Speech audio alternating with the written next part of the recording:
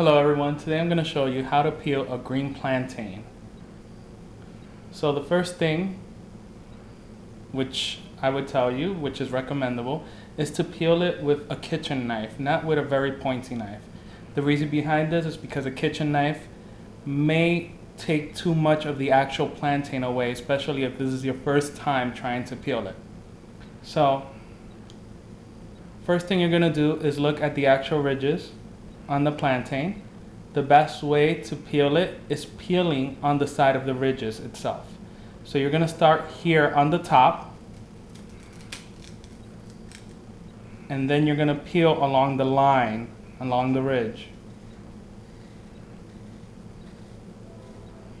And just go all the way down.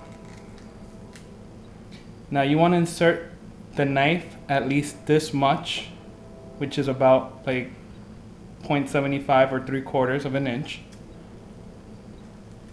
And then when you turn it, try to go along another ridge or another line on the same side.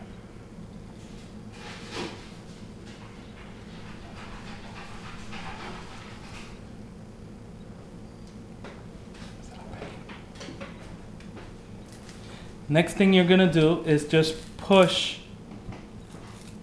where you inserted the knife, you're gonna push the skin off the plantain from there.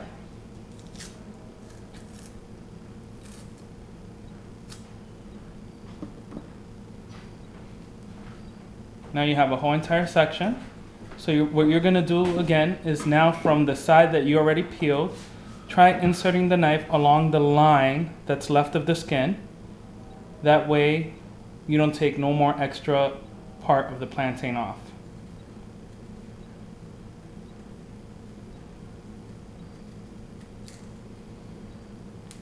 Again, go to the other side where the line is at, where you had peeled before, and just go down on that same exact line.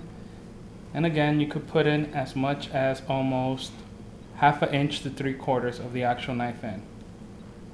And all you have to do is again, push up on the skin slowly.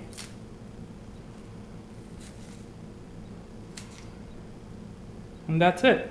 Last thing you have to do is that you can see there's still parts of the skin, like little small pieces that are attached. Try taking that off with the knife itself, not like if you're peeling.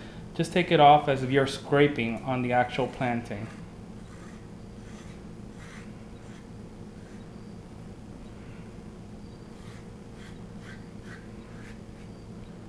Make sure there's no parts of the skin. And there you go, you have a nicely peeled plantain that you can now either boil or fry. Thank you.